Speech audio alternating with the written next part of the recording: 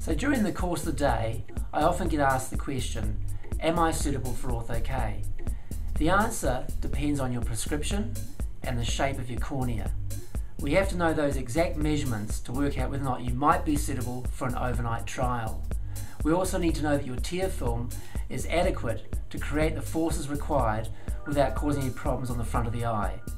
So what are the stages of getting fitted for orthokeratology? Well, first of all, we do a thorough eye examination and check that the eyes are healthy and suitable for this process.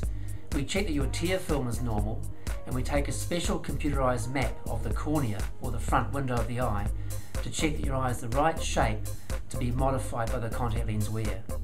That appointment takes about 45 minutes. So what happens next after the initial consultation? Well, we do an overnight trial. We get you to sleep in the lenses for one night see how much effect they have.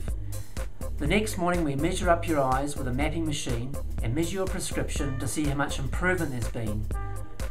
If that goes well, we get to keep wearing the lenses for another week every single night to get the effect to lock in and make it as accurate as we can.